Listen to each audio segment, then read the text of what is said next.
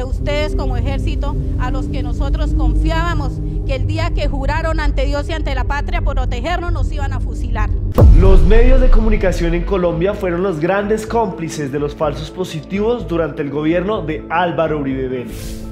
Los medios nacionales que fueron tan rápidos para dar una desinformación y señalarnos a nosotros como guerrilleros, extorsionistas o cualquier otro grupo de alguna banda criminal de Casanare, que así como tuvieron la rapidez, la agileza de correr a desinformar y tildarnos a nosotros como los peores seres humanos que pueden haber, asimismo corran a dar esta noticia de que nuestros familiares, que nuestros padres, hijos, hermanos, no eran ningunos guerrilleros, no eran ningunos extorsionistas, eran gente de bien, humilde, trabajadora, que no tenía ninguna necesidad de hacerle daño ni al pueblo ni al país.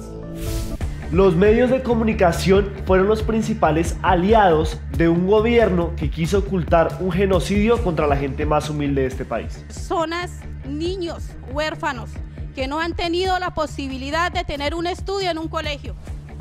¿Cuánto daño que ustedes hicieron en la desintegración y siguen haciendo, digámoslo así, porque fuimos tildados, señalados de ser extorsionistas, de ser guerrilleros. Y aún así, en el olvido total de este Estado colombiano. Pero ¿cómo no vamos a quedar en el olvido si cuando la Comisión de la Verdad presentó los 6.402 casos de falsos positivos, los grandes representantes de Casanare que tenemos en el Senado salieron a desmentir, señora Lirio Barrera, que era una mentira, que eso no se sabía si era cierto. Durante el gobierno de Álvaro Uribe Vélez, los falsos positivos fue el pan de cada día para todos los colombianos en las noticias. Estas ejecuciones extrajudiciales fueron en gran parte contra personas totalmente indefensas, como niños, personas de la tercera edad y personas en condición de discapacidad. Horrendo caso y más de una cantidad de niños menores de edad acribillados, indefensos. ¿Cuántas personas discapacitadas ustedes asesinaron? No fue el caso mío, pero soy la voz de esas personas. ¿Cuántas personas mayores de edad ustedes asesinaron y los pasaron, los hicieron pasar como comandantes de los frentes, cuando para nadie es un secreto que en ese entonces ya no había ninguna guerrillas en Casanare.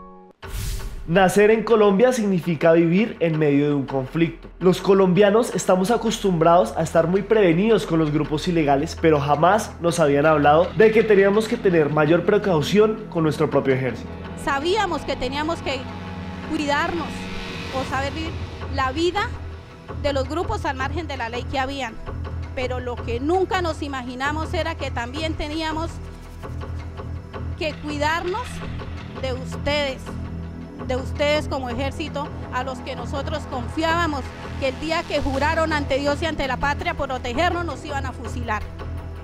Esperemos pasar ese tenebroso y sangriento capítulo en la historia colombiana para llegar a esa reconciliación que nos permita saber la verdad y por supuesto que estos hechos no vuelvan a ocurrir en Colombia. Y que los máximos responsables de estos crímenes de lesa humanidad no traten de seguir ocultando esta verdad y que por supuesto no resuelvan la duda que todo el mundo se hace. ¿Quién dio la orden? Nos siguen cerrando las puertas. La gobernación de Casanare, en cabeza del señor Salomón Sanabria, nos negó la posibilidad de colocar la mesa de víctimas. Nos siguen cerrando las puertas, nos siguen teniendo marginados. Em, quisiera también que usted preguntara a todos estos militares cuántos casos hay archivados en el juzgado penal militar que no están ni siquiera acá, que están enterrados allá con los muertos. Yo quiero que ustedes sean honestos ante el país y ante Casanare y nos digan, porque ahí puede haber cualquier cantidad de desaparecidos que nos hacen falta. Apoya el trabajo periodístico del tercer canal. Ingresa a la app o a www.neki.com. En la app ve al signo pesos y elige la opción enviar plata o a la opción recargar. Recuerda que en la página web escoges la opción recargar. Ingresa a la aplicación o a la página web de Davi Plata. Dale clic a la opción pasar plata.